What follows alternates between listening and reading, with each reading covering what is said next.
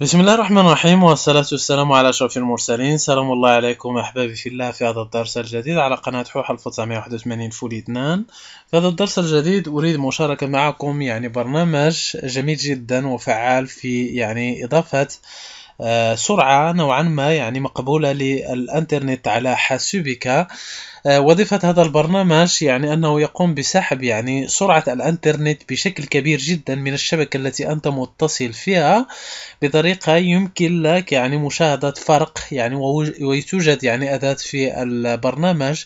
تقوم بقياس سرعة الإنترنت على حاسوبك. يمكن لك يعني آه آه، عمل يعني قياس لسرعة الانترنت بعد قبل يعني وبعد استعمالك للبرنامج حتى تقف يعني أمام آه، فعالية البرنامج احبابي في الله. لهذا كل ما عليكم فعله تحميل البرنامج عبر الرابط الذي سوف أضع لكم أسفل الفيديو. بعد التحميل تقوم بفك الضغط عليه على الملف المضغوط ثم تقوم بتثبيت البرنامج. وبعد تثبيته سوف يعطيك أيقونة بهذا الشكل على سطح المكتب. نقوم بتشغيله مباشرة.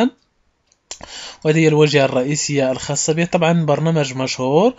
لهذا بعد فتح البرنامج أدعوكم يعني لقياس سرعة الإنترنت على حاسوبك الحين قبل يعني تفعيلك لخاصية يعني تسريع الإنترنت على البرنامج حتى تقف يعني عن الفرق يعني قبل وبعد استعمالك للبرنامج. إذا كانت فعلا يعني سرعة الإنترنت قد تمت يعني رفعها أو يعني غير ذلك. لذا تقوم بالضغط على connection speed هنا أحبابي في الله على أساس يعني حساب سرعة الإنترنت أو قياس سرعة الإنترنت على حاسوبك تضغط على start ثم تنتظر قليلا لحين ما يتم يعني قياس سرعة التحميل والرفع أحباب في الله. لذا ننتظر قليلا. طيب يعني بعد أن تمت يعني آه، قياس سرعة التحميل والرفع كما سوف تشاهدون في سرعة التحميل 596 كيلو بايت في الثانية الحين وأيضا في على مستوى الرفع يعني 70 كيلو بايت في الثانية.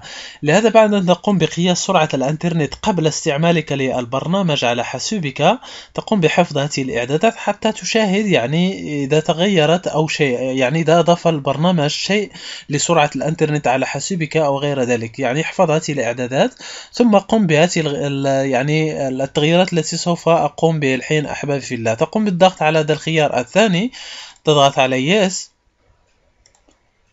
ثم تنتظر لحين ما تنبثق لك نافذة بهذا الشكل ويعني تقوم بوضع هذه الخيارات أحباب في الله. تقوم بالضغط يعني وضع الخيار الثاني الموجود هنا أحباب في الله ثم الخيار الثالث ثم تضغط على OK. بعد الضغط على أوكي سوف تنتظر قليلا وسوف يطلب منك إعادة تشغيل للحاسوب. لا تتردد في إعادة تشغيل لحاسوبك.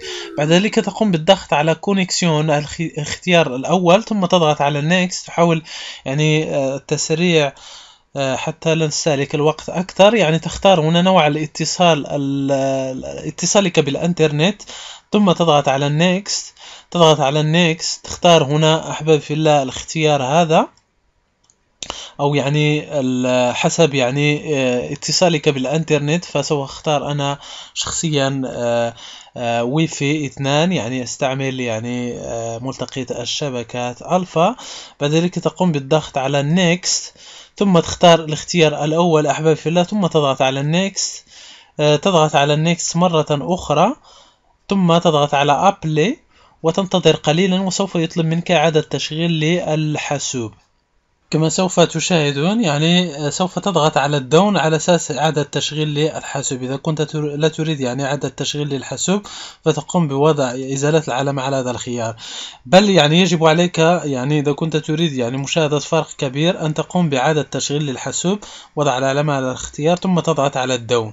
طبعا أنا شخصيا لن أقوم بهذه العملية حتى لا أفقد يعني ما قمت بتصويره بعد ذلك أحبابي في الله بعد أن تقوم بإعادة تشغيل للحاسوب يعني قم بقياس مرة أخرى سرعة الإنترنت على حاسوبك. بالضغط على connexion ثم تضغط على Start وحاول مقارنة يعني سرعة التحميل وسرعة الرفع يعني بالقيم التي قمت ب يعني آه، قياسها قبل يعني تثبيتك للبرنامج وقبل يعني وضع الإعدادات التي شرحنا أحبابي في الله. وسوف تشاهد مما لا شك فيه يعني بأن البرنامج يعني يقوم يعني بتسريع الانترنت بشكل يعني ملحوظ يعني ليس بشكل جيد كما قد يفهم الكثير لكن يعني يحاول يعني إعطائك قيا يعني سرعة انترنت نوعا ما مقبولة احباب في الله أكثر مما كانت يعني عليه يعني على حاسوبك طبعا كما أشرت يعني وظيفته أنه يقوم ب يعني سحب الانترنت سرعة الانترنت من الشبكة التي أنت شخصيا متصل فيها. يعني طبعا يعني البرنامج بمجموعة من الخصائص. إذا كنت تستعمل أيضا يعني مثلا Internet Explorer فيمكن لك يعني تسريع الإنترنت عليه عبر هذا الخيار. يعني هذه الأداة أيضا إذا كنت تريد أن يقوم البرنامج بقياس استهلاكك للإنترنت يوميا هذا الخيار يعني لمشاهدة يعني جميع البرامج التي تستهلك الإنترنت على حاسوبك كما سوف تشاهدون. طبعا يعني بعد تطبيقك كما أشرت لهذه الخطوات ويعني أذكر حتى تشاهد يعني فرق وتشاهد فعلا يعني وظيفة البرنامج إذا كان يشتغل بشكل جيد فحاول يعني أن تقوم بقياس سرعة الإنترنت قبل استعمالك لهذا البرنامج وبعد استعمالك للبرنامج وحاول أن تشاهد فرق. يعني مما لا شك فيه سوف تشاهد يعني فرق كبير جدا. وعن تجربة شخصية أتمنى الدرس قد أفادكم. لا تنسوا في الأخير دائما زيارتنا على موقعنا www.pontegla5.com ولنمو صفحتنا على الفيسبوك facebook.com slash 1981 إذا لا تنسى الاشتراك في قناتي حتى يصلك دائما جديد الفيديوهات في أمان الله.